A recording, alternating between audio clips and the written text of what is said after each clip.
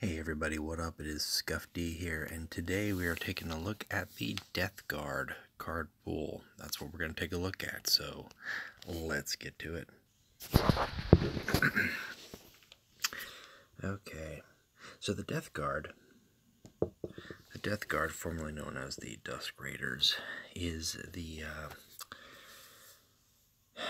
the the the slog and trudge frontline troops of uh, of the Emperor's Space Marines. They are just get into the thick of it. They're very uh, notorious for their chemical warfare, ammunition, biological, uh, just the just the, the, the, the, tried and true method um, issued up by their warlord Mortarion. Uh, just always going forward. They've kind of got that that vibe. They are what, what is exclusive to the uh, Death Guard currently is the poison mechanic, which is, as we'll, we'll discuss, is uh, not the best. Um, I will go ahead and preface this. Uh, my experience with the Death Guard is more limited in terms of games against them. Um, I'm missing a few, actually, between the Death Guard and the Iron Hands. Those are the two legions that I don't have enough of the legendary cards to really function well and um, the Death Guard is one I think where you want to have access to those legendary cards to really to really make the pieces work. Um, however, for quite some time in various phases of the game, the Death Guard have had a presence, uh, whether it's through event play or whether it's actually on the ladder mode. It just kind of depends. Um, just about a month ago we had Gate 2018 and we'll kind of go into that just a little bit. We don't have to worry about that anymore but there was a resurgence uh, in that for for a very obvious reason and we're kind of glad that that's not around anymore. So again going alphabetical here with the warlords not necessarily from rarity to uh, to rarity to rarity but uh, Calas Typhon. So Typhon actually has a low initiative and uh, most of the Death Guard, actually, nobody I don't think it actually has a high initiative here. Um, his ability basically just lets him heal three to himself. It's very basic, it's very rudimentary, but it is very solid when you think about it. Um, opening turns of the game, if you don't have any troops, your opponent decides to attack you with with their warlord. They're dealing two and essentially you're going to recover that back. You're not going to lose anything, and they're losing two just by attacking you. Um, it only takes a few applications of this ability to really swing the game. You know, if he uses it three or four times, that's an additional 12 health in the course of a game. So um, it's, a, it's, it's a good ability. It's not bad. Uh, Calas Typhon, I think, really his his his main thing that suffers right now is that low initiative, losing that that momentum um, in the first part of the game. Not terrible, but again, um, it's it's enough of a detriment where you don't you don't see him as played as often as he used to be. I think the initiative implication really really dropped him down a bit. Um, in addition to that, I think Durak Rask, who has a medium initiative, so he has a higher initiative here. He's just got a better ability all around. Um, so he's a siege master, and he destroys structures and vehicles damaged when he attacks them. Just straight outright destroys them. It doesn't matter how much health they have left. Um, it does not work if the uh, structure or vehicle is shielded or drop potted. So to that degree, he does actually have to do damage to it. Um, and then in addition to that, his ability is really the kicker, and this is what's great, is for two energy, he's dealing 4 damage to a damaged enemy troop. That's significant damage. That's not going to do anything to your opponent's warlord. However, if you've built your deck right or you time your strikes right, you only need to do one damage, pay two energy, and you destroy a five a five health troop, just like that. Um, if you've got if your opponent has got you know a Malgahurst uh, on the table, um, nice fat 8 health, you only need to actually do 4 damage to it and trigger his ability, and Malgahurst is gone. More importantly, that's not a tactic that Malgahurst can copy, so it's a very useful thing. It's in. It's basically he has access to that the entire game. That's huge when you really think about it. Um, mass uh, random damage attacks, uh, defensive satellites, artillery strikes, endurance, which is a Death Guard exclusive card, damage everything across the board. Um, and then trigger that with his ability to, to get rid of anything that you that you really truly need to get rid of. It's a great utility to have. He's a very he's not necessarily unless there's a structure that you just really want to get rid of. Hall of Rights is a prime example. Hall of Rights, um, shield generator, uh, you know, command bunker, maybe, and then certain vehicles that you might be willing to take some additional hit just to get rid of them because you know what's going to happen. Uh, you know, the Emperor's Children have got that three, three drop uh, sneak attack bike. It's only three, and then he just destroys it. and You don't have to worry about following it up with an additional attack. So, just a very solid, solid uh, warlord. And you can use him a lot of ways. Um, think he's very strong. I don't think he's top tier currently at, at the moment just because of the meta shift doesn't allow for too many troops on the table, so it's not as necessary. It's still very effective, and the Death Guard have a great range of, of healing and building up a board themselves. Um, but I would I would I would put him good as a solid a solid uh, second tier, not even second tier, low top tier option. Now Mortarion is the is the Primarch. He's the legendary card. I do not own Mortarion, unfortunately, um, just for the simple fact that I like to own Primarchs, and it'd be nice to have Mortarion. Um, I I like his character. I like the concept of, uh, you know, his his his his backstory is very interesting, and and how how his uh, how the way he perceives the world is very interesting.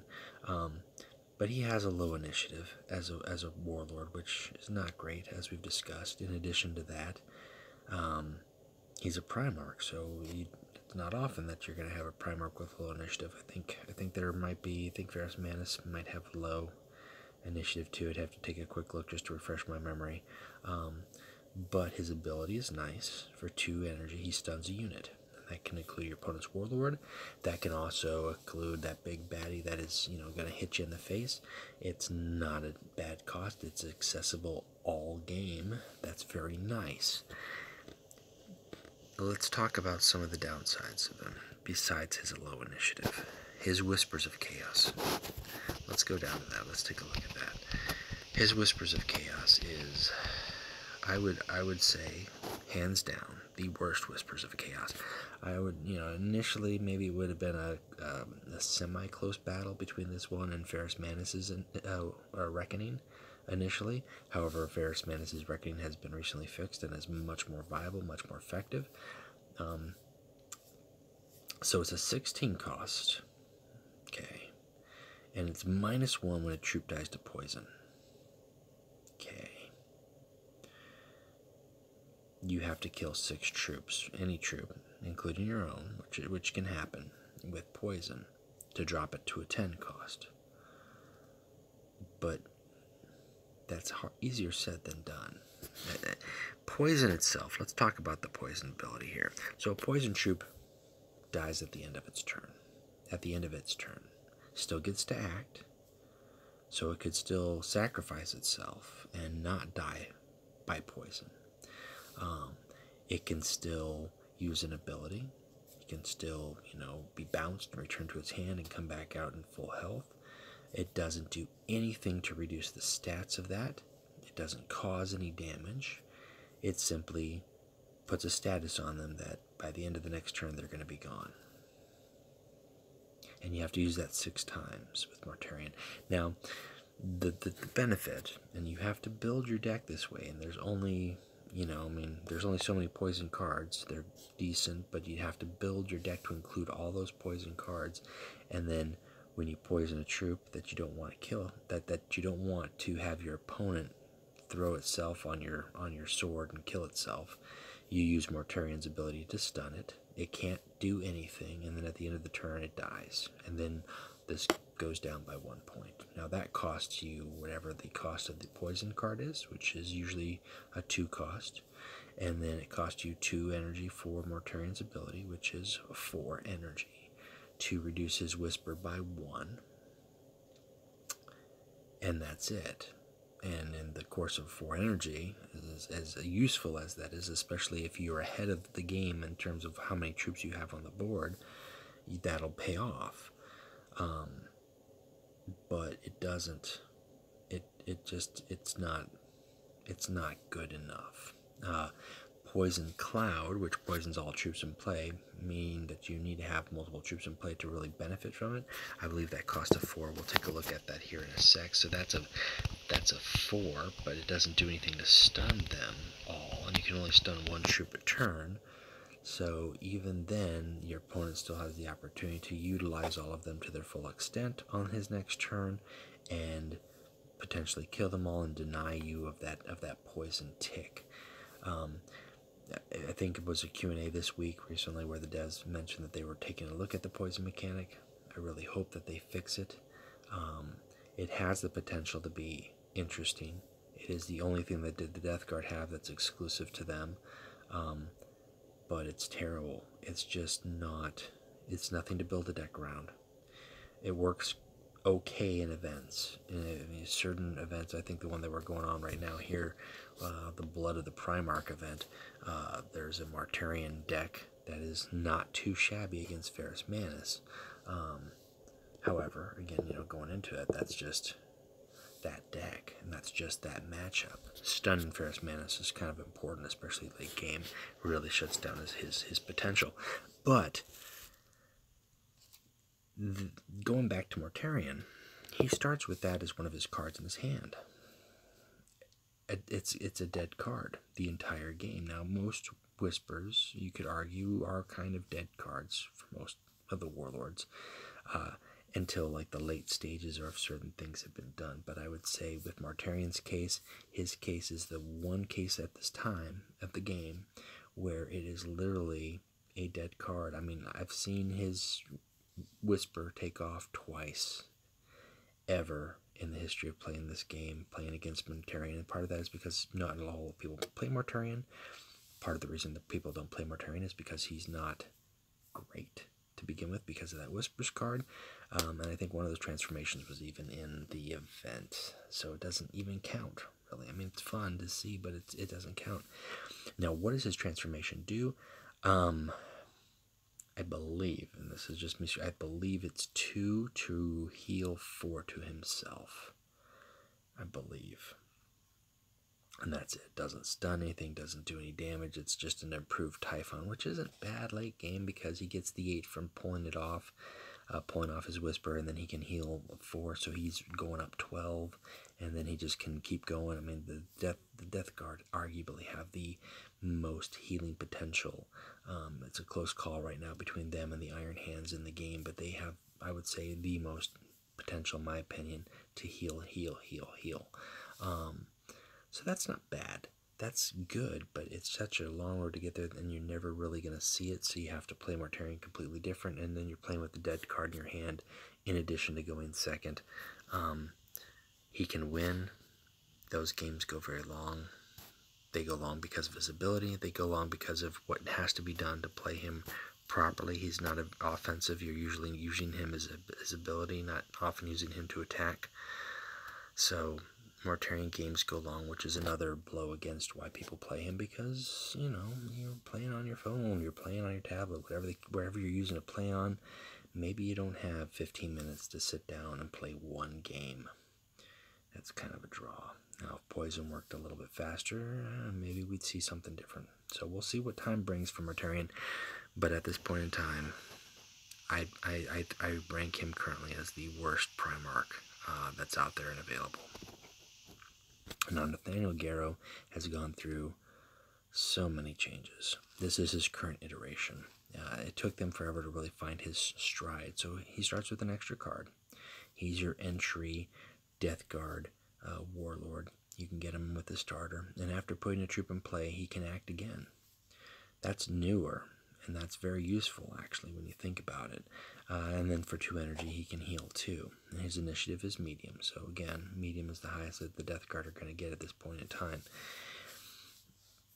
Yeah, like I said, Garro's gone through multiple changes. This current change is a better improvement to what his past uh, his past application was. It's not any different, to be honest with you. They they didn't change him. They changed uh, Vengeance, and that made it a lot more functional. But if you build your deck right with Garro and you have a lot of not necessarily high cost cards, but good low to medium cost cards, and medium I would say three or four capping it at four cost cards. You know, you can use him to attack, drop a character, heal from that attack, maybe drop another character now, depending on how late in the game it is, and attack again, or do three attacks. The uh, the abuse that we were seeing with the, with the Garro Gate of 2018 um, was really just slapping Vengeance, which upped his attack to five, and then dropping a bunch of one drop or zero drop troops uh, out of your hand and just attacking like seven times to kill a Warlord. It was not a lot of thought process behind it. It was just take some damage early in the game and then come back with that card and win the game. So now he's been changed where you do kind of have to time how you play these units, but he can benefit late game. Again, he can potentially, if you really time it right, heal himself several times in a turn, or he can attack several times in a turn, which can be very useful to get rid of that four drop if he doesn't have any damage cards in hand. He's very versatile in a different way than Durak Rask, a very versatile Death Guard Warlord, um, but he operates best with with a deck that is very low to medium cost at, at most. And there are some medium cost cards you just want to include, um, but where he operates best is right at that range because you can maximize his ability. You don't have to blow it out of the gate right away, but late game, that turnaround, you could just heal yourself and drop troops and heal yourself and not do anything. And now you've got four or five troops on the board, and your opponent has to deal with those in addition to your health have gone up, you know, two to six. So a good a good choice. You have to look at what you're putting in your deck with Garro. Don't just throw in Death Guard stuff. Look at how it works with his ability. Uh, but he's he's a, he's a, he's currently in a good place. I think. I think he's a very good Warlord option. So Muldoon Squad is a 1 4 for 1 energy. It's very basic, front line. That's it. That's all it does. But you see him all the time in Death Guard because they can be spawned by one of the Death Guard cards that we'll take a look at. Um, actually, two of the Death Guard cards spawn Melda now. Um, it's a front line. It's a it's a quick front line. It's easily dealt with for the most part. It only does one. However, there's a variety of ways to pump up your troops with Death Guard. And when I say variety, I mean like two cards but they're good cards. Um, so I wouldn't include a Meldoon squad necessarily by itself in my deck. Maybe in a Garro, maybe. Um, because there's other cards that just give them it's, it's an auto it's a generated card so you don't need to include it in your deck if another card's going to give you that card but that is a that's a card now Black Grenade is the direct damage uh, to a troop you can use it on your opponent's warlord as well. It's best used on a two health troop. Um, best, I mean, there are times because it's a random factor here, so it deals two damage, and if that target dies, repeat it on a random enemy. Now, I've seen it, unfortunately, against me where it has worked on four of my troops consecutively before it hits my warlord, which is devastating for a two cost. That's random. I've also seen it where it goes kills the target initially and then just hits my warlord and and that's it and the rest of my guys are untouched. Um, it's best used, you know, to just kill that two health troop if there's nothing else on the table. It, that's an additional two damage to your opponent's warlord, um, or you know, and if you really get your fingers crossed, I wouldn't bank on it late game, but it could potentially clear a board if they've all got low health troop. But it's a good card for two energy. You are dealing two damage to two, at least two units. So that's good. That's a that's a that's a fair exchange. Now, Communition, um, I've seen in event decks. I don't see it played it's a buff that gives a friendly troop, which can be any troop, doesn't have to be Astartes, doesn't have to be vehicle or, or infantry or, you know, any troop, plus one, plus one, and poisonous. For two, and it's a common, and it, that's okay. It, uh, it's useful in the event decks, but beyond that, that's not a great buff.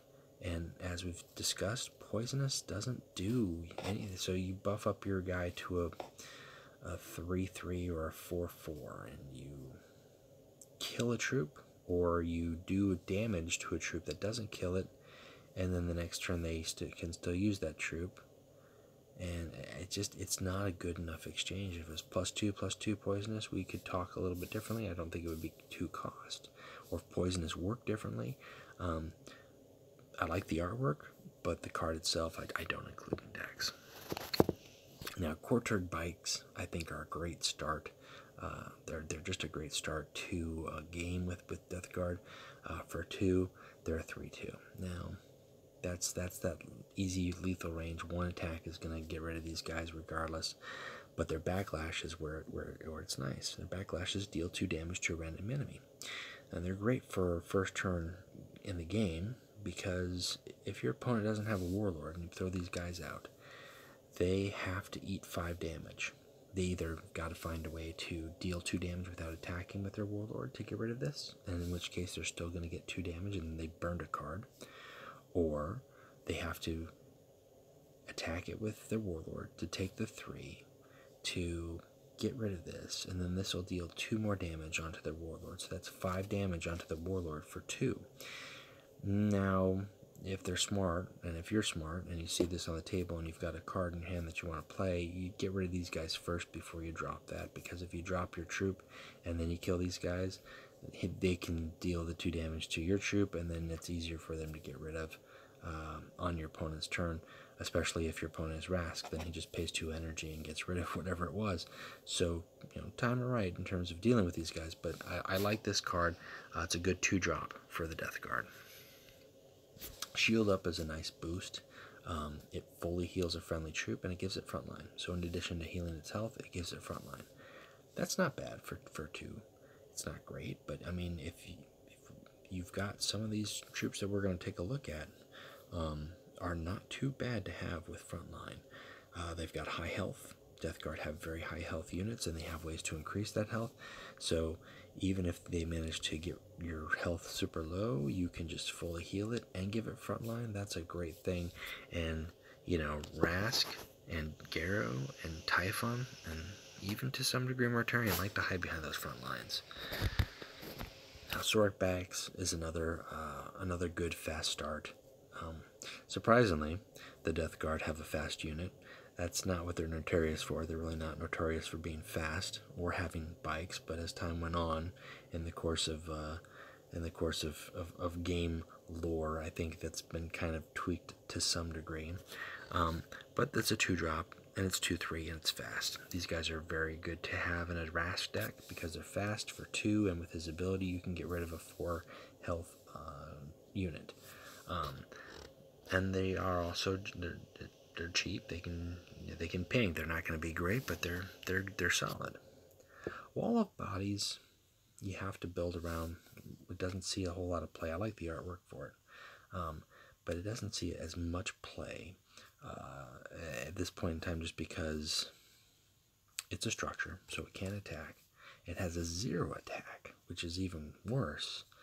You know, there's ways to increase that by a smidge, um, but its ability is great gets plus one, plus zero, plus one when a troop dies. So it gets bigger and bigger. The wall of bodies just gets higher and higher. It's a great frontline thing to hide behind and buy yourself some time. And man, I think I've had games uh, in events where I've had like a wall of bodies at like plus like like plus 15, like a like a 15 health wall of bodies.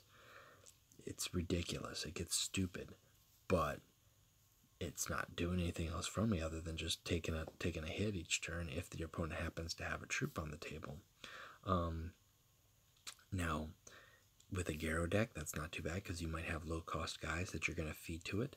Um, but that's it. One hit from Rask, he takes no damage, and he can destroy your your zero your zero twenty wall of bodies. He just finds the weak spot to it and blows it to smithereens. So it's not as good at this point in time as it could be. Is it? It has a small place. Um, it's okay again in events. You know, there's there's at least usually one deck for every Death Guard Warlord has a wall of bodies in it. It's not a bad thing to have, but there are better things. There are more offensive, better things. Now, Captain U- U- Ugeoj, Yu-Gi-Oh! Captain Yu-Gi-Oh! is one of the legendaries that I do happen to have. I did manage to see him um, in the in the store, and I picked him up because I knew that he's he's key. He's clutch, regardless of whatever death guard you're going with. His ability is just great. Now he used to be a five health. They dropped him to a four health, which is unfortunate, but that's okay. There's plenty of ways in death guard to protect him. Um, I don't think he needed the five health to begin with. So his ability here is heal two to your warlord when a troop dies. That includes your troops. Now, it won't include you, you Geoge, if you get rid of him, um, but his potential to heal your warlord uh, just depends on how many of your opponent's troops or your troops you are willing to kill and sacrifice, um, in addition to how long you can keep him alive. Now, when you have Yu Geoge in your hand, don't play him on turn three don't play him on turn four with one troop that you attacked and killed. That's there's no benefit there. He's a sitting target. It's a that's that that optimal time. You want to play Yu-Gi-Oh! Hold him as late as you can, and then play him when you are going to, whether through the course of getting rid of your own guys, uh, or getting rid of your opponent's troops, that you are going to kill three or four troops, because that's six to eight health that you're just going to instantly recover as well as potentially clear the board and then have him on the table. And that's going to make your opponent sad. It's going to make him sad, especially if you have him sitting behind a frontline troop or one of the beefier uh, Death Guard frontline troops. Um, he just makes it makes the game very hard at that point. He becomes target number one, public enemy number one. He has to go before Jubak goes. Uh, you know, I don't care what anybody says. That's he, he's the one that's keeping your opponent in the game longer every round, basically. So, um, if you see him in the store, don't pass him up. He is, I would say, for the Death Guard, he's the number one leg legendary to have. Gotta have him. He's going to go in every single one of your Death Guard decks. There's no reason not to include him. Unless you're playing a Death Guard deck with zero troops. And I don't know how that would go. I don't think that's a good idea. So, include him. Now, Eisenstein is an interesting tactic. It returns a friendly troop to your hand, and it gives it plus two, plus two. There's no contingency. Um, the way the Emperor's Children had that perfection card to drop its cost, it just returns it to your hand and gives it plus two, plus two for three. And you can use it at the start of a late game to get a cheap cost guy, give it plus two, plus two, and bring it back out. You can drop Mel, uh, you can drop uh, Melgator for two drop Eisenstein, pick him up, and now he's a he's a he's a three five, and you can use him again. You could use anything with a rally, um, or you can save that unit that your opponent thought that they were just about to kill. It's it's a good tactic. Is it perfect for every deck? I don't know. I would I would say you'd have to really think about it. Think about how you're going to use it. It's not bad. Um, doesn't have use in every game. Uh, you can't use it if you don't have any troops or units on the table. Um, but it's it's good. It's, it's a good solid rare for the cost and for what it does. I think that's a good ability. So, executors, uh, these guys here, which great art by the way. Um, these are the these are kind of the linchpin if you are attempting a poison deck with Mortarion. They're more key in like event decks because of their ability and their low cost. For three, you're getting a 2 4, so that's good. And for two energy, they poison an enemy troop. So again, going back to Mortarion, you get these out, and your opponent doesn't have any way to get rid of them on their on their next turn. Any troop that they play, you can pay two to poison it, pay two with Mortarion, stun it. So for four energy, you're you're you've just negated whatever that they threw out there, and they have to get rid of these guys. Um, that's not bad. Their ability beyond that, their usefulness in the index beyond that is limited. There are better uh, Death Guard units for three cost or even for even for two cost to some degree. Um, not bad, but at this at this stage in the game, with the way poison works, you you shouldn't see them in play uh, too often unless unless you're new to the game and you just don't have enough Death Guard cards. Gelderk Squad is a better choice if you have a choice between the two, these guys are better. Same cost, same health, same attack, but their backlash is superior. So they're going to do something that doesn't cost you anything. Just for attacking and dying or being attacked and die, they're going to get plus 0, plus 3 to a random friendly troop. You can time that and choose who they're giving it to if you only have one other troop on the table who's just suddenly going to gain plus 3 health.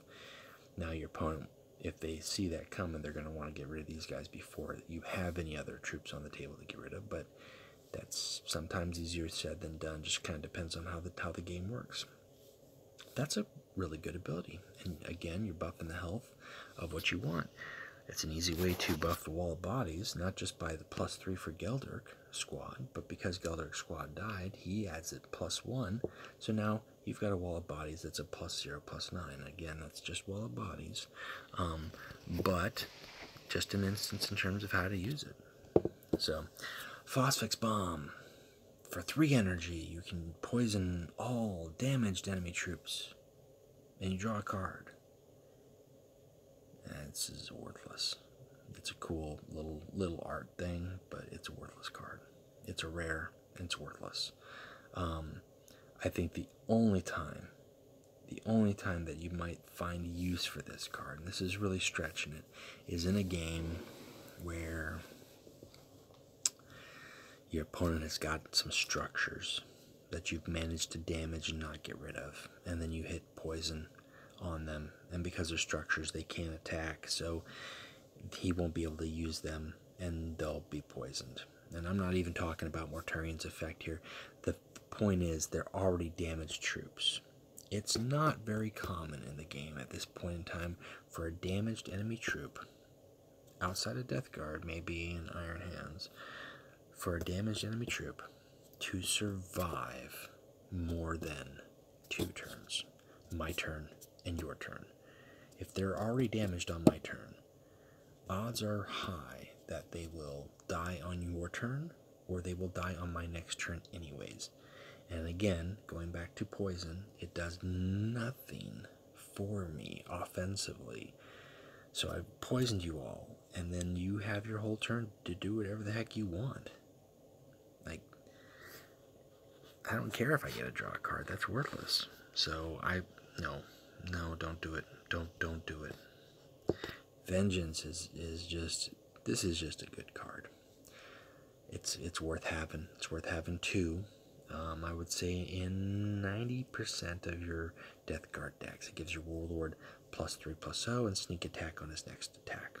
Know, that next attack part, that was what was added with Garro, because initially it just gave him plus 3 plus 0 and sneak attack, so it lasted the whole turn. Now this only lasts for one attack, which is more reasonable.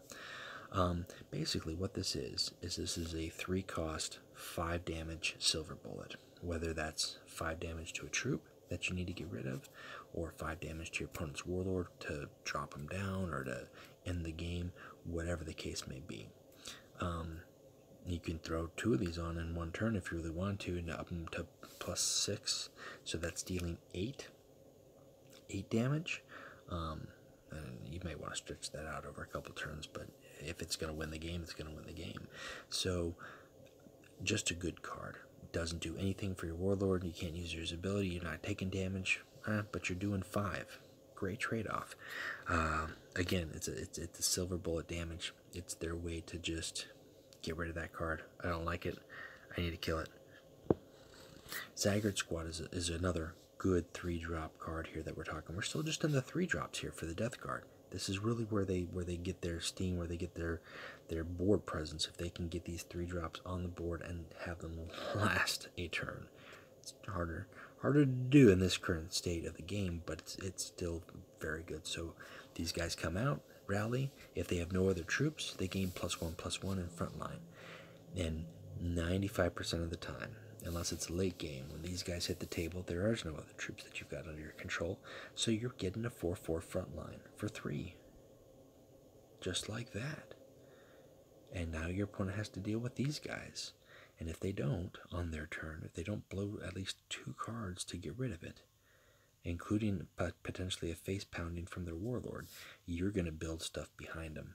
And you're going to have the board presence, and now you're going to have some people behind them protecting these guys. Um, or these guys that these guys are protecting rather. And if you manage to get these guys out and then Geldurk squad out, and then for some reason your opponent still can't get a Zaggart squad, maybe because you've healed them or you've stunned them or something like that, then you can turn this 4-4 into a 4-7. So, and that's just for a 3 drop. Now, Blessing of Nurgle, this is the uh, this is the the Death Guard version of giving marks of chaos to their their their troops. It gives your Astartes troops just your Astartes. It won't work on your vehicles. Keep that in mind. Gives them a mark of chaos and plus zero plus one. It's actually one of the higher cost versions of this card. Um, the uh, the Emperor's Children have the Hall of Rights, and they have they have the uh, was it the, the crumbling castle or the crumbling palace or whatever it was for four and that required perfection to, to up their ability. This one just is just going to give them plus zero plus one and a mark of chaos for four and it's going to give it to all your Astartes which sometimes is tricky sometimes isn't. If you've got a bunch of Muldoon squads out that's not so not so bad. I mean, you could potentially gain three to four troops there with, with the Mark of Khorne or Mark of Slaanesh. Um, you don't want them to have the Mark of Tzeentch as a front line. That's the worst thing you can have is the Mark of Tzeentch. You're like, all right, I'm stopping everything, but now that you can't see me, you can just walk right past me. No, you don't want that one. Um, it, it, it's okay. I pass on that one over one that we'll take a look at here that doesn't affect all troops, but it's it's much better. So command bunker is again this is another card that comes in and it as a rally gives plus one plus one to adjacent troops. So you have to watch how you placed your troops or you want to let's say you've got one side with three troops on there, one of them is close to death, send him off on his suicide mission, kill him, deal the damage, then drop command bunker between the other two, and now you've buffed your two, you've maximized the use of command bunker. If those are two Muldoons, now they're also two fives to deal with. Um, if there's something even beefier, then they get even better, and you've also got a front line to go with it. It's not a use in every deck. Again, this is one that's easily disposed by uh, by Durak Rask, but it is a good it is a good card. It has an instant effect, and even though it's a it's a front line and it's a structure, it is doing damage. Not a bad trade-off. If you've got the room or you don't have enough card options as a four drop, it's a solid choice. Take a look at it, but don't just don't just throw it out there because you're at turn four and you feel the need to throw something out there and you want to throw a front line out there. In my experience, if I'm playing a Death Guard player and it's turn four, turn five, and they drop a command bunker all by itself, and there's nothing that they buffed up, that's a very big implication that they um, they're going to lose that game because they they don't have anything good in hand, or they or they're desperate to try to stop what I've got in hand. Um, command bunker, you need to play it with cards on the table to to maximize its benefit, as well as as well as just make sure. if if you're playing a card that gives other troops a, a, a boost and there's no other cards to boost, then what's the point? I mean, I don't care if it's a front line. That's that's the whole point. You have this in your deck, so don't just throw it out there, please. Look at your deck and make sure that you're going to have stuff out and play before command bunker. And even if you don't quite hold off on that turn, you'll you'll you'll get a better reward for it if you drop something else in place of command bunker.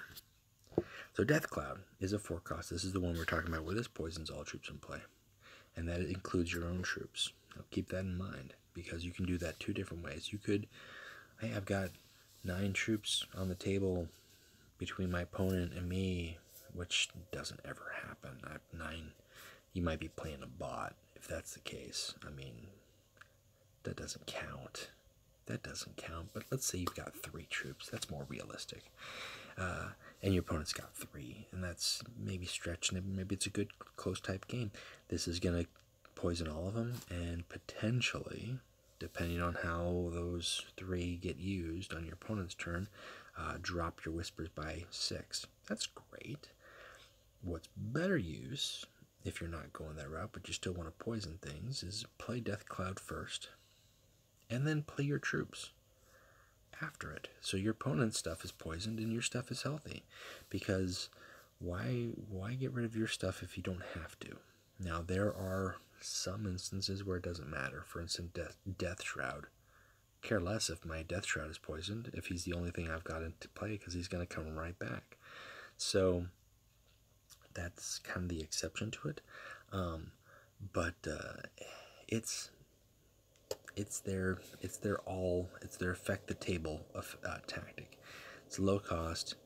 Honestly, I pass on it if I see if I see a deck, even the even the Death Lord deck was it Death Lord or Toxic Toxic Cloud? I think it was the Toxic Cloud Mortarion deck.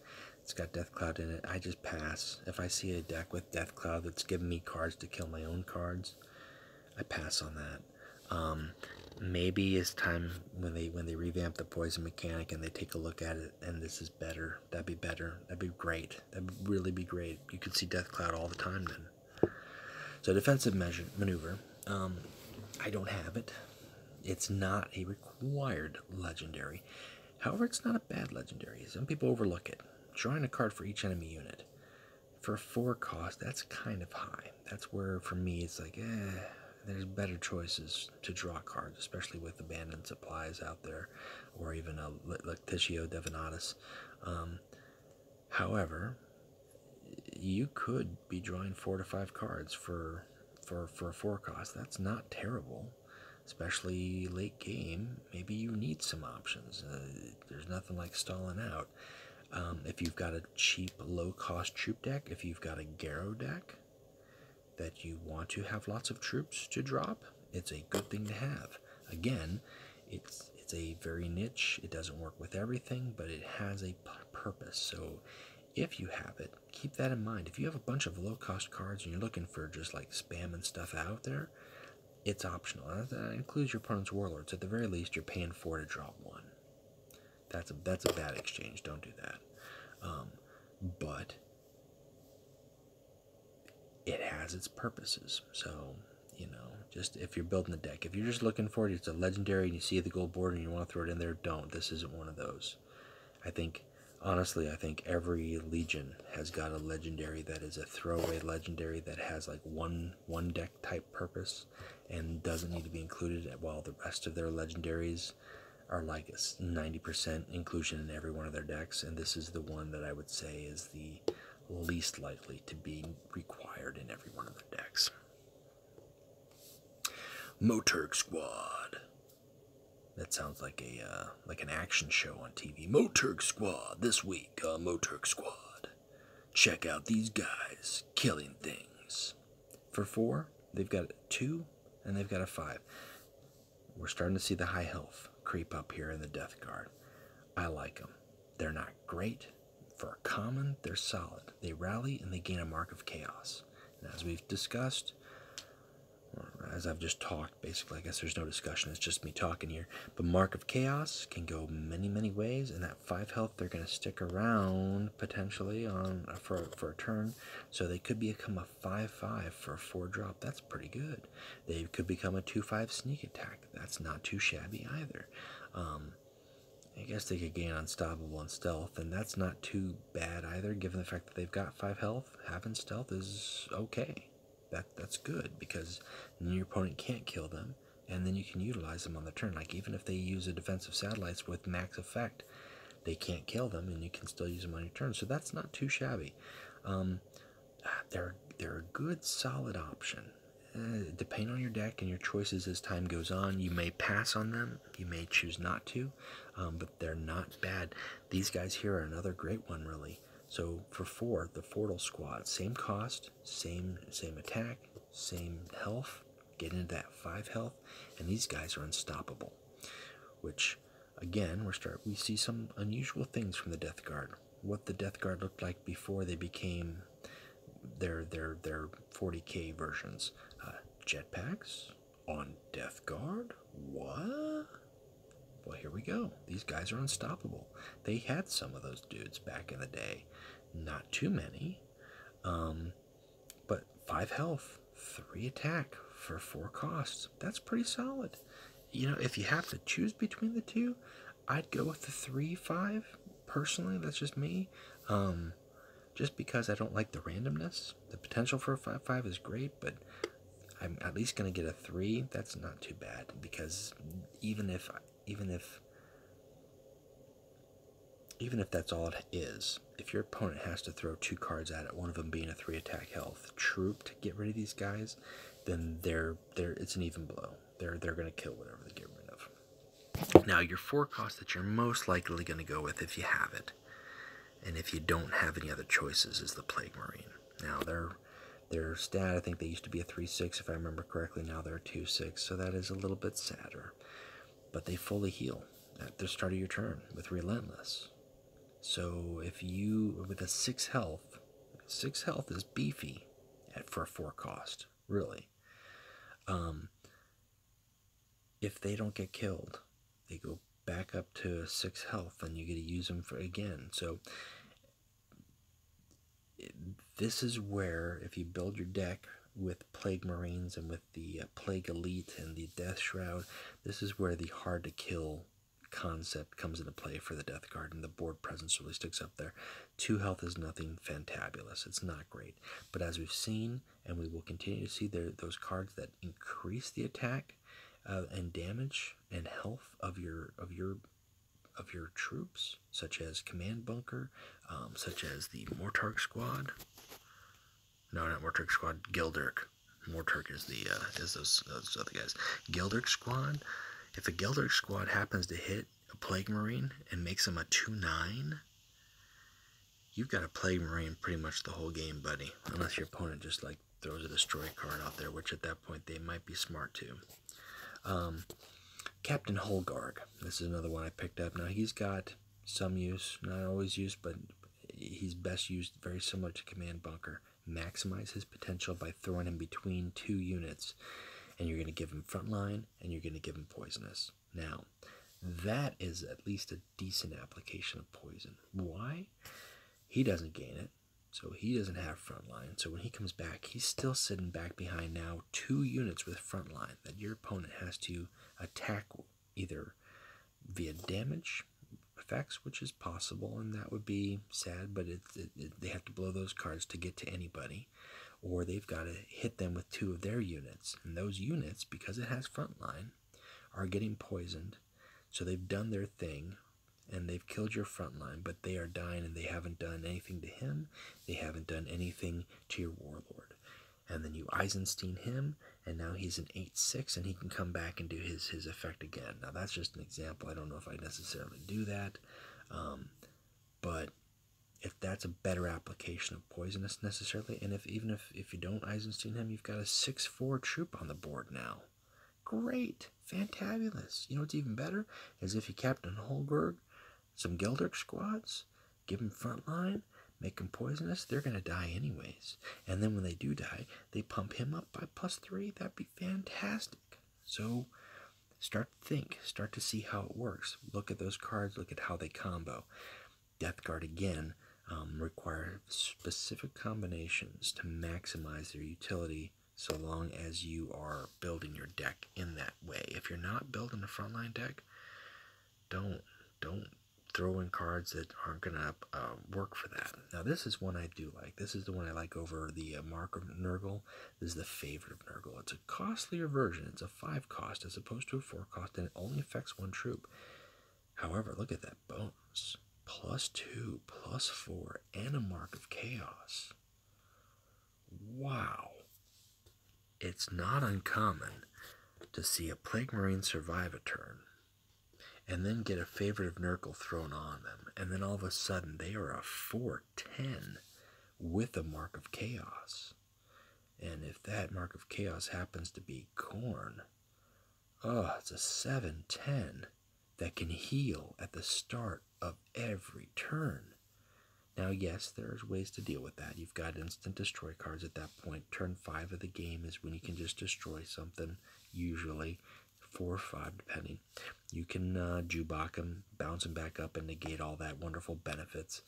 Um, you could manage to stun him and then deal with him on some other subsequent turn, but the potential of that is so much more beefy and powerful um, than than you want to, to have to consider really at turn five of the game having a troop of that caliber on the table. That's just, ooh, it makes for happy times. It would also make for sad times if you see it die, but it makes for happy times if you're playing it. First wave is a, is the five tactic. I think I think this should be at least a one of in every Death Guard deck. So for a five, you're getting three Meldon squads in play. Now, and when you think about it, this is not the greatest even exchange. Three Meldon squads is actually three points. That's three energy. This first wave should cost less. Now, back in the day, Meldon squad was a 1-5, and I think, even even slightly, I think they might have been a 2-5, and I don't know if they always cost 1. I mean, that's way back in beta, and those memories are fuzzy for me. It's been, I mean, geez, we're going on almost a year here, I think. Um, I don't even know how much time it's been. Time has no meaning in the warp. It has no meaning in the warp here in my life. My life is the warp. This is where we are. This is where the demons play. But I think it's at least a one of because as a clutch, it's a common. It's going to give you three frontline troops. Now, uh, I'd say, depending on the matchup and depending on point at the state of the game, um, it's not at all uncommon for all three of those frontline troops to be completely wiped out the following turn. However, it bought you a turn. That's that's what this is for. It's the first wave to buy you a turn. Um, if you can manage to combo first wave with something that ups their health or manages to uh, to give them like Blessing of Nurgle, and that's late game. Again, that's late game. Um, at least you're going to maximize the benefit, but at the very least, you put up a speed bump. In some decks, it might be better to have two of these, and some just one. But I think one is always good. Now, Meldons in a uh, in a Rask deck are really nice. For five, you're putting three troops on the table that your opponent is probably going to kill. But let's say he doesn't.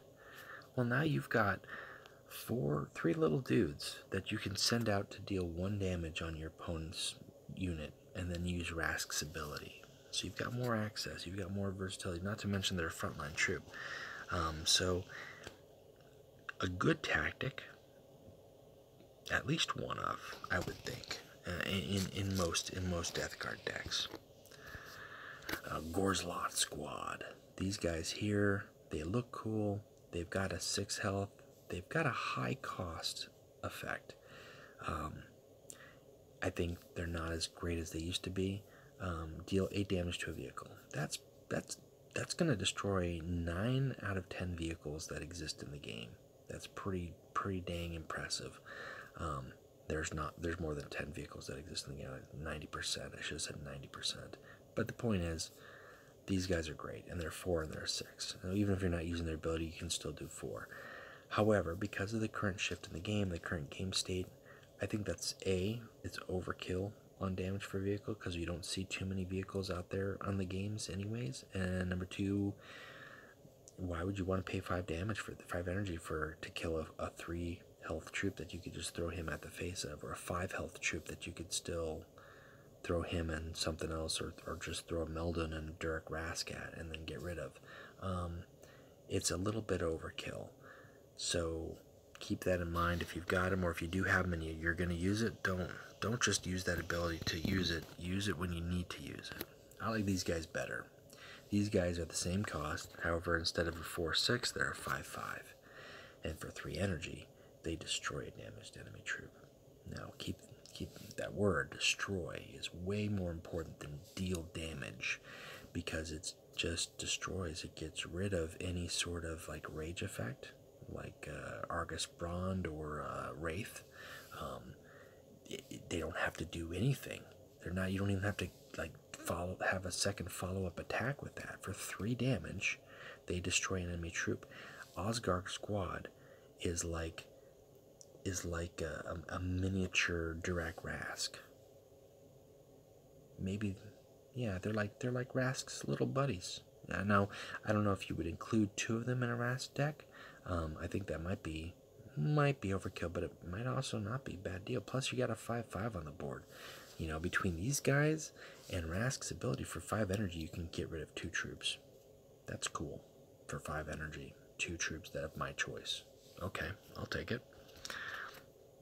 Purity of Will. So these guys here heal and remove poison from your units. Um, and it's a 3-6, and it's a vehicle. Um, I don't know if there are two of in every Death Guard deck. I would consider them a one of. Maybe in like a Typhon deck you might want two of them just because Typhon is just really just gonna gonna make make healing and just make it miserable for your opponent's deck. But nothing like having these guys come out um, after you've attacked with some troops and your your plague marines, or after you've uh, you've done a uh, a poison cloud, which again we're going into a stretch here, and then just drop these, and then just heals two and gets rid of that poison effect on your side of the table, and that's all your units, not adjacent units. It's just all your units, including your warlord. So a good good uh, good vehicle, good rare, not a bad cost. You're not gonna overkill it, but it's three and six, you're gonna use it the next turn. That's not bad. The reaping. Now, I like the concept of this. All enemy troops have minus two and lose front line this turn. Actually, I should reword that because what it does is it gives them minus two, minus O this turn, and they lose front line. Now, losing front line is actually permanent. That's a permanent effect on them. Um, I've used this card twice in the life of the game, and that was in an event uh, that was it was like I don't even know what the warlord what the what the theme of that one was. I think it might have been the Eisenstein event, and it was basically Mortarion versus Mortarion, and it was like an end game. Like they had like six Muldoons on the table, and uh, I just got rid of all those guys' front line, and then just waded through them, and that was great. And it was like a you kept it in hand for that one matchup. You don't see enough troops with front line like a wave of them to begin with. I mean, at the very least, you're probably going to affect, at the very most, you might affect two, two frontline troops, unless you're playing like an Ornatov deck or something like that, uh, for a five cost. And it gives a minus two, minus so that's great because you can attack them and not deal damage back, but that's just that turn. And it's, yeah. If you, if you can exchange this card for something better, do so. Defensive satellites is a, is a better choice than the reaping, in my opinion. I don't care if they've got frontline. I'm dealing damage, and then I can get rid of them. That's great. I, damage across the board. That's better. Endurance. Now this used to be five cost, and now it's six cost, and I think that's a good fix because that five, that turn five, is important for a lot of legions. Um, more so some of the slower ones, including including the Death Guard, but Turn 6. Deal 3 damage to all enemies and heal 3 to all your units. That is it. That's a swing of, of 6. Dropping everybody by 3 and moving all your guys up by 3 works best by you've got units to attack, you attack with them, everybody does their damage, and then just when your opponent thinks, well, I can get rid of them on my next turn, then you just drop this and kill everything else that has survived and heal all your stuff, and now you're untouched, and they've got a clear board, and they're upset about it. Um, I don't think there's any reason not to have two of these in your deck. This is cost one more than defensive satellite. However, the effect is a guaranteed three. It's not a random one through five. And in addition to that guaranteed three, it's a guaranteed three heal. Uh, it's a guaranteed swing of six. If you see this in the shop, pick it up. You need to have this in your Death Guard deck. There's no reason when you play this that you will ever regret playing it, even if you're not putting out a troop that turn. Dealing damage and healing is good and it's across the board. So, like it, have endurance, get endurance. Death Guard, we do endurance. This week on Mortarg Squad, endurance. Geeslok Terminators. These guys are cool. Now, they just have recently been changed. Uh, they used to be a six eight, and now they're a five eight, and that's okay. That's okay. Um, so, they're very similar to the uh, to the squad here that we saw up top, the, the Zaggart squad. These guys are kind of like the big big brother Terminators. So it's turn 6. If you have no other troops, these guys gain front line. So you've got a 5'8 front line. Mmm, beefy. 8 health. Ooh, Yeah, there's nothing like that. And then you got a five five attack on top of that. They're most likely anything that your opponent's throwing out at these guys is going to get killed. Now, typically, what happens is you throw these out and you feel safe, and then your opponent plays Jubok and bounces them back up to your your hand, and and you get sad about it. But you know that's that's the nature of the game. If your opponent has Jubok, they have access to that.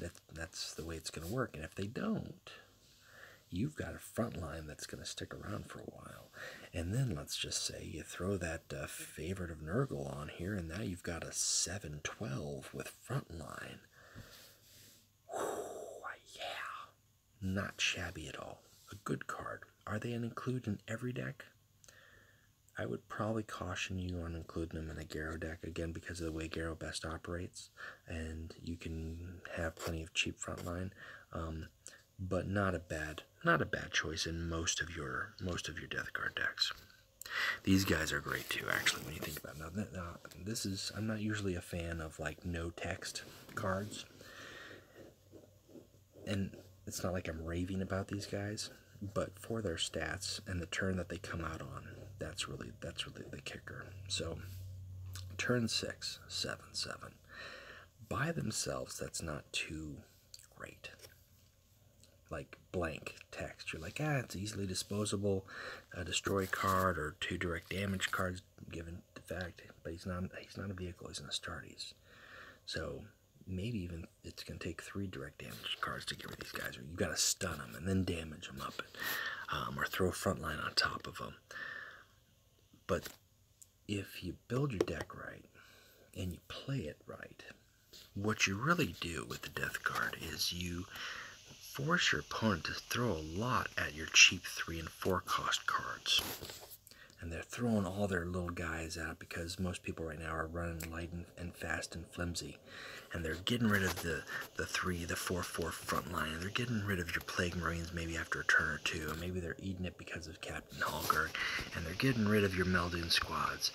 And just when they think they've got some breathing room, you throw down a 7 7. And that's the start. Turn 6 is the start with the Death Guard where the momentum, the 7-7, the 5-8 front line, things start to really trudge. They've been doing this trudging for six turns, and now they are there. They're at your face. They're coming out of the trenches, and the go the Girterful Terminators. Girterful. They're not beautiful. They're Girterful. Terminators are up and they're just seven damage is seven damage, man. Uh, turn six, I don't think there's too many cards in other legions that can come out at a seven seven. Um, I think the uh, I think the Iron Hands might have a couple things that give them a run for their money, but a seven seven at turn six that's pretty nice. And if you manage to get these guys with abandoned supplies and bring them out on turn four, I mean, yes, that's the destroy range and your opponent would probably be wise to drop that because these guys out at turn four, they're gonna they're gonna wreck shop. So I'd like them. Are they included in every deck? That's I would I would say no. Keep it in mind. See what you've got. But they're a good closer for a mid-range cost. That's not too shabby. I like them, but you don't just throw them out there. You really want a time when you throw that. You really want your opponent to really just like grind down on your other guys before you kind of come out of the works with these. Now, Plague Elite, these are like the big brothers of the Plague Marines. Now, they've got a 3 attack instead of a 2, and they've got an 8 health instead of a 6, and then in addition to that, they're poisonous. And these might be, in my opinion, might be the best poisonous card that the Death Guard have access to, and that's just that's really doesn't say much. Um, but the fact that they can survive, the fact that they don't have to pay anything to use it, anything that tries to get rid of these guys, because you want to get rid of stuff. You don't want a 3-8 sitting on the game all game long. They're going to die whether they kill it or not. Whether they're killed or not, they're going to die. Um, whatever they touch, frontline or not, it's going to kill them. So they're good. They cost six, and if I had to choose between a 3 8 poisonous fully heal, or a 5 8 frontline, or a 7 7, I don't think I'd choose the Plague Elite unless I was building a deck revolving around really abusing that, really throwing out the front line or the uh, the healing and the poison and the. I like it. I like the fact that we're we see in the Death Guard we see kind of the evolution of the ranks possibly more so than any other legions currently. You actually see the evolution. You see the big brothers of the, the lower level guys. You see what they become. That's really neat. The plague elite you know, are kind of the next step up is the Death Shroud, not necessarily in terms of poisonous, but in terms of same effect. Um, you know, the the, the Geizalk being being the bigger guys here of, of the of the Zaggart squad. So that's neat, but you really have to choose how you're building the Death Guard and how you want to use them and what card is going to work best. Ignatius Droger has recently been changed here. He's a he's another uh, legendary card. So his stats have been dropped. He's now a 4-5. And there's some people who've got a contention right now with his abilities. So he's got a rally ability and he's got a backlash ability. So his rally ability, he gets a little Meldon squad front line. And his backlash ability, he gets a Plague Marine in play. Before it used to be put three Plague Marines in your hand, which did nothing. Now, you're getting two troops in play when you play one, which is okay, that's good. And one of those being a front line. And then when he dies, you're putting in a four. So for a seven cost, you're getting him plus a one cost plus a four cost. So you're getting 12 cost of cards for the cost of seven. That's like a five point reduction at different stages and different intervals. But that's not too bad. And if your opponent kills Grulgor on their turn, you have a Plague Marine that you can use on your turn. So that's the best use. And his stats is 4 5. You mean 7 7, 3 8, 7 7, 5 8, 4 5 looks kind of low. That might change. We'll see. But um, it's an interesting ability, and it's not too bad, I don't think. I don't know if it's going to stay that way, but we'll see. So, well, Cargill, um, here's a 7-7 with an ability. So I guess if you have to choose between Geizalk at 6 and a 7 drop with a 7-7, here's an ability that destroys a random enemy vehicle. Again, not a lot of vehicles out there. There are some, but most of them are very cheap vehicles. Uh, a 7 he's okay. I would pass on him. I, I think in, in the Death Guard decks I've got currently, I, I, that range from 4 to 8 is really kind of skimpy because just the way the game plays currently. Um, a neat ability, not a great ability. Spectre of Death is the Death Guard's destroy troop. So you've got poison. Every legion except for Raven Guard has got a card that destroys a troop outright. This one's nice. It's one of the higher cost ones actually. It's out there for seven, but you're getting two Nurglings for it. So I'm going to take a quick look at the Nurglings again for a reminder if you haven't checked out the Chaos video. Um, Nurgling is a 1-3, and he returns to your hand when you kill him. And he's got maintenance of 1. Now that maintenance of 1 is kind of a pain, but for 7, you're destroying a troop, and usually you hold on to that to like the troop that you must kill, get rid of that guy, and then you're getting two Nurglings on the table that will always kind of be your options to throw out there. Nurglings comboing with Captain Ujioj, um, over and over and over again, maybe feeding your your your wall of, of uh, wall of bodies. Um, something that just you can just keep repopulating with and healing or pumping up a front line or just doing one damage with Rask and then using his ability, that's pretty good. Uh, that's the Nurglings. Spectre of Death makes that possible, and it has an instant effect destroying it. I don't know if it's a two of in every Death Guard deck. Uh, it's at least a one of. Every every Legion needs to have um, a destroy card it's a shame that Raven Guard don't, but they've got some other options. Um, but it's a good card. If you can get one included, even don't let the seven cost scare you. It's it's not gonna be a bad thing. So Death Shroud, these guys are just ooh, They walk alongside Mortarion. They're, they're beefy. 8 8 8. Backlash. If you have no other troops in play, play another Death Shroud. Doesn't matter if they've been poisoned. It doesn't matter if your opponent plays a Destroy Outright card. It doesn't matter. If you play Death Shroud and you play your game smart and you leave Death Shroud as your own thing, and most of the time, at that point in this game, if you've got it locked, you shouldn't need any more other troops on the table to do the job. Um, you will always have a Death Shroud. If you are going to play troops after you've played Death Shroud, time it carefully and wisely because once you have another troop on the on the board doesn't matter if it's a structure if it's a front line or anything death shroud then becomes easily to remove because your opponent can play that outflank and he's gone. And it doesn't matter if you pumped him up and you figure you feel safe about it. If he hasn't killed your your opponent and they can play outflank then you've lost your death shroud and that makes you sad. Is he a two of in every deck? I don't know. I like it for consistency, but I think a one of is sufficient because ultimately you only want one of them on the table. Um, it would be kind of neat to see them get rid of a Death Shroud and then drop another Death Shroud, but that's kind of redundant. And then on top of that, you may not be in a good state on the board to actually do that and benefit from it best. But these guys are, are good. They are good. I won't say they're a staple, but they're a solid closing card for Death Guard. Now, Halden Tall is another one that we've actually seen some change to.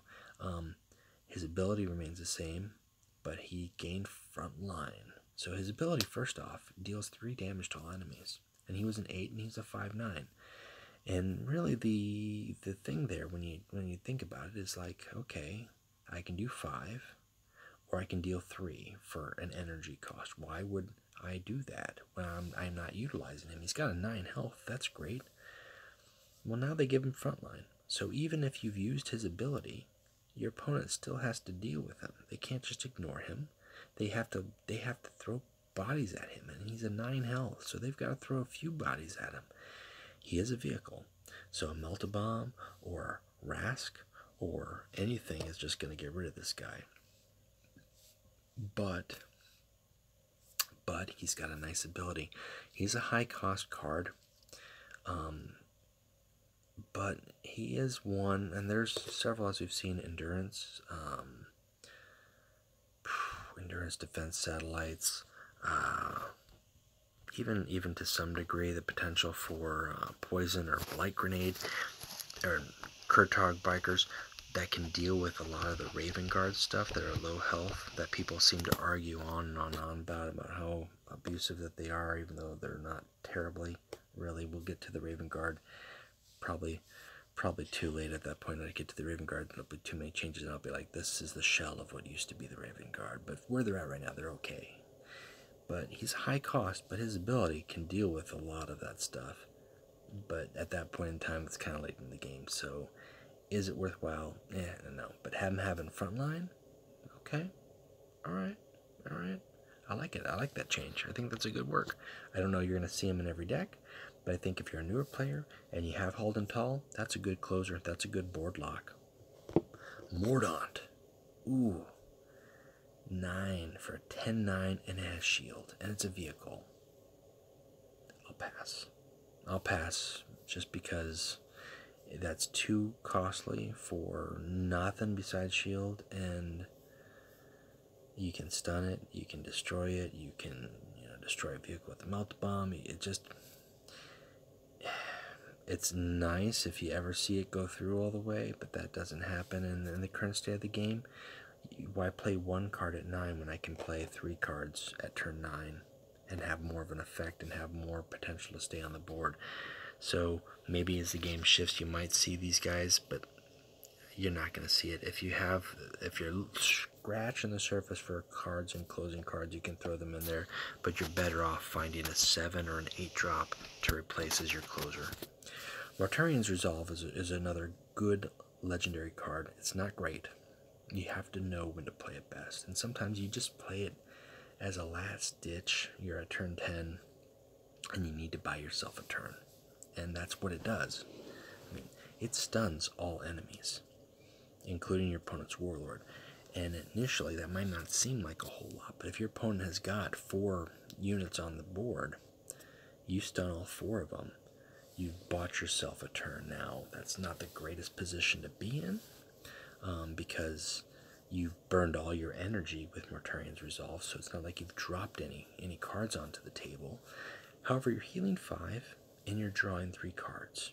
And depending on what you draw, or depending on the state of the game, that 5 health might just be what you need to win it, to edge out. That with Typhon, you know, three or four turns of Typhon plus this right here, that's that's a lot of health that they've got to deal with. In addition to that, you've stunned them. So even on their turn, unless they drop any fast troops, they still can't do anything to you on their turn. So that switches the momentum back to you to drop your stuff, whether that's fast troops, front line, you know, beef ups, destroy cards, whatever you've got at that point in time, it gives you a chance to burst through and, and kind of kind of switch the momentum in the game. It's not going to benefit you if you have too many enemies out there, unless you've got stuff on the board. If you've got stuff on the board, great. Um, but if you don't have stuff on the board, you may want to focus more on getting stuff on the board as opposed to playing this 10 drop. You've got to time it right as far as when to play it. The Imperial Reaper is this one I actually like better than Mordant, and it's it's stupid. It's a it's a 10 cost card, but it's 14 health, and it's front line. That's just stupid, you know. But it's it's kind of if your opponent can't destroy that or bounce that, they have to deal with that. They have to throw a lot at that. Whether that's whether that's, you know, their big 8-8 guy and then some or all of their little weenie guys, it's a front line. It, it, it, may not be protecting you too much at that point in the game, depending on where your health is at, but it's just stupid. I mean, look at those guys down there. They're just like, what are you doing? What do you, what do you think that bolter's going to do? Stop. Stop. You're about to get run over, son. So, it's it's goofy, it's stupid. It's not like I didn't I'd actually play it, but I like the card. I like the card. What can I say? Um, all right, well, and that's it. I mean, we're through the Death Guard stuff here at this point in time. So, uh, next up, we're going to be taking a look at the Iron Hands, the first uh, Legion that came out with the uh, with the Isstvan 5 set. So we're going to be delving in new legions and hopefully get through them before the Drop Site Massacre star starts coming out, and that's December 2nd. Uh, and it is it is only a couple weeks away. So, anyways, that is the Death Guard. That's my thoughts. Um, again, I don't play these guys enough to really give you a lot of concept stuff other than just what I've seen and what I've what I've executed in event decks. Um, but they have a place. They're very low tier in the game right now. Um, you see them occasionally pop up. I think Garro has had some following in the, uh, or, or, say following, but he's actually had some um, some upswing since his ability has shifted, but not enough. Rask is probably their top choice. If I had to rank the Death Guard warlords in terms of where they're at, it's a I I probably put Rask at number one, Garro at number two, and that's a close two. You've got to build him right, but he's close two. And then uh, it's a it's a it's a it's really a, a, hard argument to say who's three and who's four between Typhon and Mortarion, and that's nothing against them. Um, they both have their places, but not the, the gap between how useful they are compared to Rask and Garro is, is significant. Um, and again, Mortarion, like I've said, I think I think he probably ranks at the bottom right now of the of the Primarchs. Um, I hope things change. I hope we see some changes and improvements with the poison mechanic. Um, maybe I'll maybe I'll be required to, to do a little video on, on what poison means now. But for the time being, this is just where they're at. They have a place. It's not great. It's not at the top. They're not necessarily the bottom. They're just not played a whole lot. And if you are playing them, you really need to know how to use them best. And you can't just throw cards out. There's just too many better direct damage cards existing in the other legions that they're just going to outclass you. You've got to play your stuff right, you've got to build your deck right for Death Guard. You definitely can't just have sludge in there. Like out of all the legions, I would probably say Death Guard and Salamanders. Like you've got to, it's got to be a fine work tool to to really to really gel the way that you want it to. So, anyways, that's it. That's Death Guard. Thank you for listening to me talk about it. Next time we're gonna be talking about Iron Hands. Uh, all right, keep playing more Legions. All right, talk to you later.